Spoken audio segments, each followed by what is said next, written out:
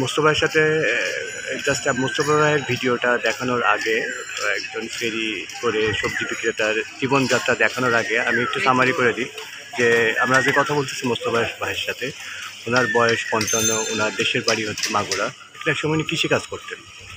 কিন্তু এখন আর কৃষিকাজ করতে পারেন না, কারণ ওনার জমি যে ছিল সেটা দখল হয়ে গেছে এবং উনি একটা সময় একজন এন্টারপ্রেনার হিসাবে উনি চানাচুর বিক্রি করা, চানাচুর বানানো, এই টাইপের জিনিস উনি স্কুলে স্কুলে বিক্রি করতেন। কিন্তু স্কুল বন্ধ হয়ে- যাওয়ার কারণ উনি আর ওগুলো বিক্রি করতে পারেন না।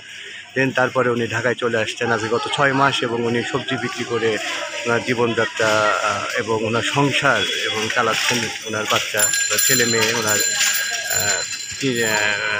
মেয়ে, ছেলে মেয়ে, ওনার স্ত্রী, সংসার সব কিছু নিয়ে চালাচ্ছেন। মোট ছয়জন ওনার পরিবারে আছেন এবং উনি উনি বিশেষ করে রিক্সা চালাতে পারেন না, কারণ হচ্ছে ওনার বয়স হয়ে গেছে, এখন প্রায় ষাট বছর ওনার বয়স, প্রায় ষাটের কাছাকাছি উনি সবজি বিক্রি করতেছেন। বাট যেটা অ্যালার্মিং বিষয় হচ্ছে যে ওনার ইনকামের প্রায় তিন ভাগের দুই ভাগ কমে গেছে এখন মাত্র, এক ভাগ। উনি আগে দিনে প্রায় বারোশো, চোদ্দোশো টাকা ইনকাম হতো, এখন চার, পাঁচশো টাকা ইনকাম হয়।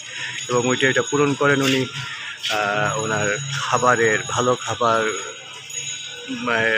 পরিমাণ কমাই দিয়ে বিশেষ করে উনি শেষ ডিম উনি এক মাসও খেতে পারেন নাই।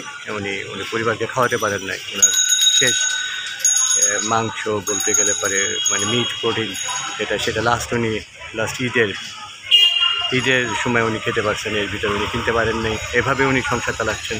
উনি খুশি আছেন, আল্লাহর কাছে উনি শুক্রিয়া জানিয়েছেন এবং সবাইকে বলছেন যে ভালো থাকার জন্য এবং দোয়া করছেন সবাই যাতে আমরা ভালো থাকি। আমরা দোয়া করি যাতে ভাই ভালো থাকে এবং অনেক ধন্যবাদ আপনার আপনার কাছ থেকে এই বিষয়গুলো আমরা জানতে পারলাম। একজন জীবনের না জানা অনেক কথা। অনেক ধন্যবাদ আপনাকে।